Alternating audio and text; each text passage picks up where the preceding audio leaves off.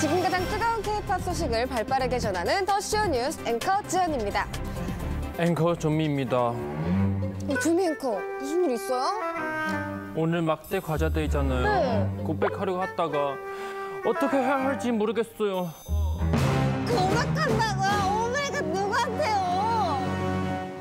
나 귀엽고 예쁘고 저한테 힘이 되는 분이 있어요.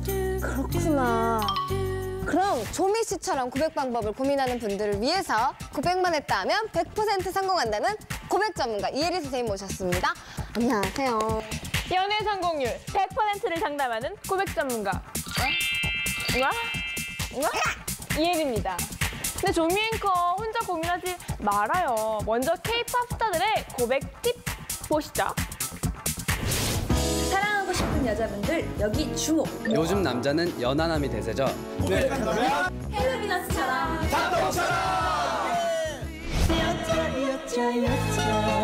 고백이요? 여자가 어떻게 고백은 남자가 하는 거 아닌가요? 지금 시대가 어느 때인데요. 끈적끈적하게 안아줄래 널 줄래 좋아해요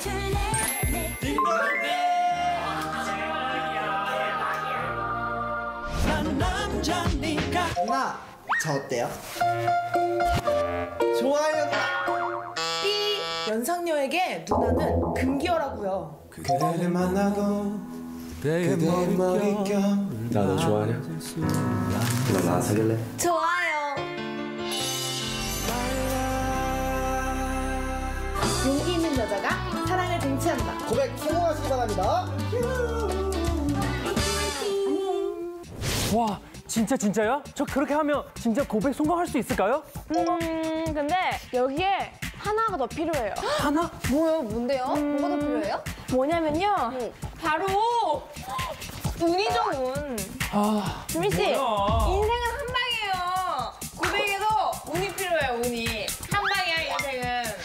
아니 그나저나 조미 씨 이게 도대체 누구한테 고백한다는 거예요? 아니 특정이잖아 특정.